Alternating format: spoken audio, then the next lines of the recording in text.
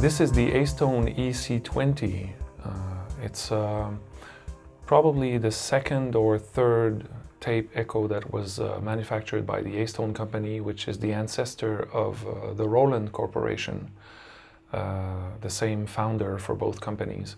This company from, uh, was from the mid 60s to mid to late 70s. This is probably a mid 70s tape delay. Um, it's pretty interesting. It has a good amount of features. It has many, many inputs, as you can see, a mic level. Uh, the vocal amp input is very interesting because it allows for a wet only output in the vocal amp output here, which is very convenient. Uh, echo time is the speed of the tape, basically motor speed. It's not a huge difference, but it does, it does make quite an impact. Uh, echo effects is uh, simply uh, the feedback. They call it echo effects. Echo depth is the volume mix with the dry sound if you're using these, these inputs.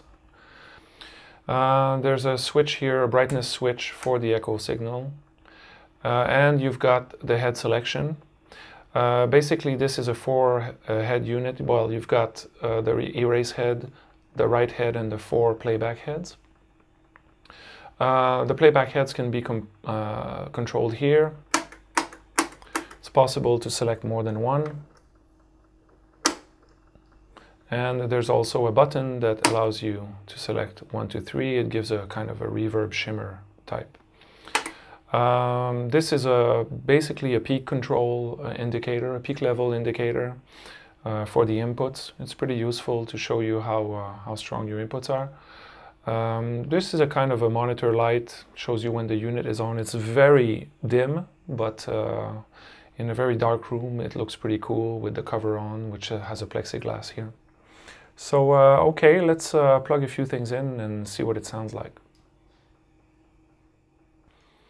Alright, so I've got here my trusty Yamaha MR10 drum machine. It's a fully analog drum machine that I got in a yard sale for $2 many years ago. Lucky me. So let's see what it sounds like. I've got it straight in the mic level uh, control. I've got two heads activated right now. Effects are pretty much at the max for this. Let's see.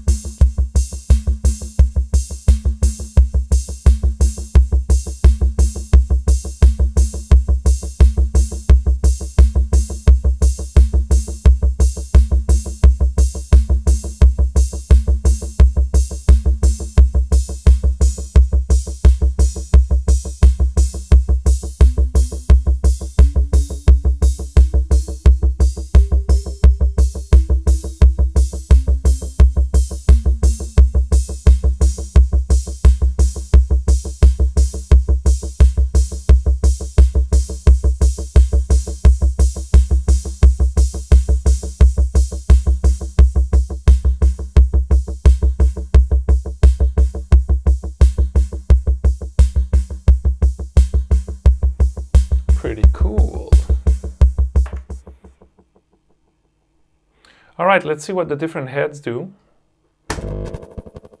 There are bad contacts here. Takes a while for them to activate. Okay, so this is basically head number one. It's the shortest one. If I remove the, just get one hit.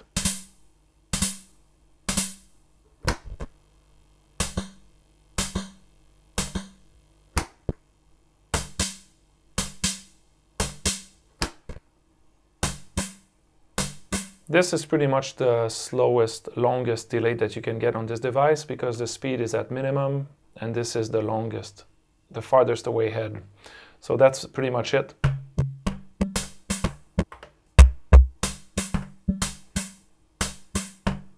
It's much more fun with more effect.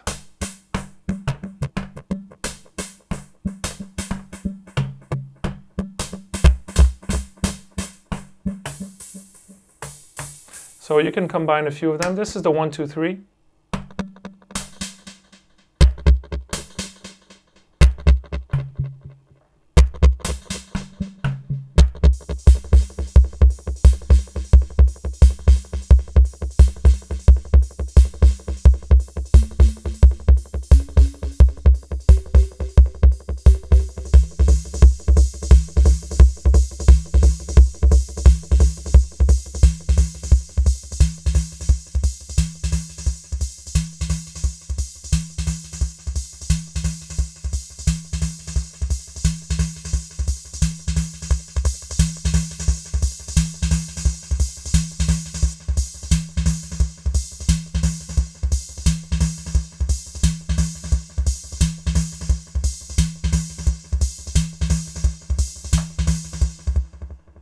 All right, let's try plugging in a couple more things in there.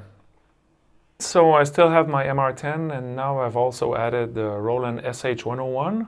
It's actually a cousin of the Acetone company, so they go very well together. Not this guy though, he's like competition, but anyway. So uh, let's just try out some sounds.